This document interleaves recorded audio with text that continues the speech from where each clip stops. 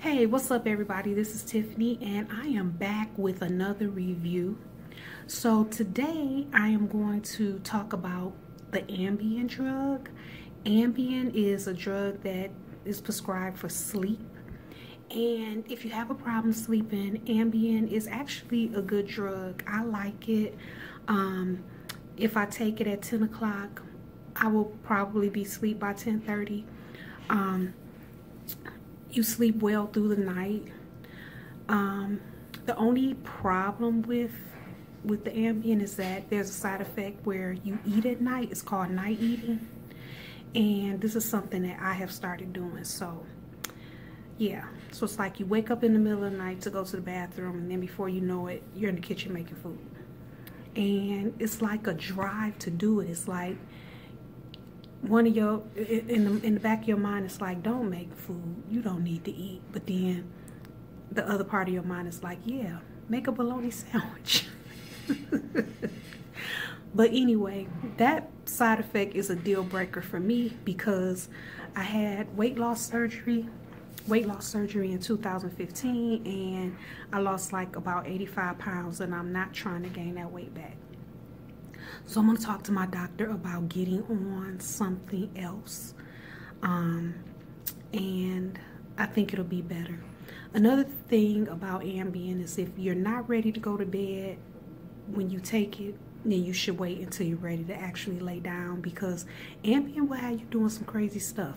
People have, um, there, there have been cases where people have gotten up, gotten in their car, drove places, didn't remember how they got there, don't know where they're going.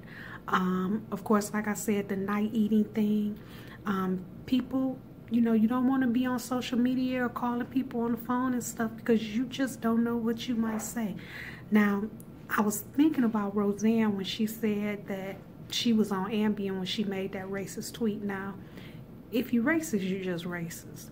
But Ambien will have you doing some crazy stuff, but I'm not going to fault her thing with Ambien. I'm going to say she just wanted to say some crazy stuff, and she did. But anyway, that's neither here nor there. I don't know much about Roseanne, but yeah, you want to make sure that you're in a safe environment when you take Ambien. And, and really, it's good to have people around you that can kind of watch out for you because you don't want to get up and drive your car in the middle of the night. But anyway, um, if you have questions about Ambien, talk to your doctor. See if it's something that you might want to try out. Like I said, I like it. I just can't afford to do the night eating thing. I can't. I mean, I tried to kind of work with it and see, you know, if it was something that I control, can could control, but I see that it's not. Like last night I took it and within 15 minutes before I went to sleep. I'm downstairs making um, pudding, vanilla pudding. You know the pudding you mix with the skim milk or the milk and you mix it up in jello pudding. I'm making jello pudding at 10.30 at night. I have no idea why. I woke up this morning and said, wow, who made that pudding?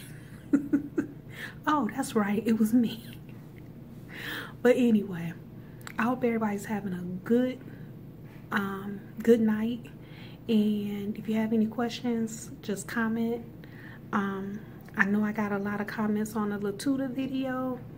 Um, just a little update on that. I still take Latuda. I've been up to the highest milligram, which was 80. I started off on 20. Um, I made it all the way up to 80. Um, now I'm back down to 60. So um, my therapy is helping. I'm I'm in therapy. I have a good therapist.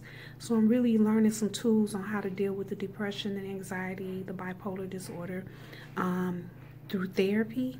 So I'm looking to kind of wean down off of the medication, but that's only because I'm going to therapy and I feel like I have a good therapist because I'm the type of person that likes to comply and I do comply with my medication because I take my mental health seriously.